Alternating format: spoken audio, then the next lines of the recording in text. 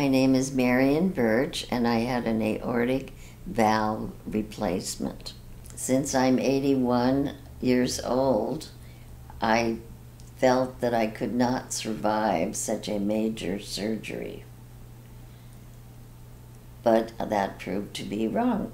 I met with him before the surgery where he was very informative and helpful. And after the surgery, he made his rounds and checked on me every night. Well, I expected a lot of pain, and surprisingly, there was none.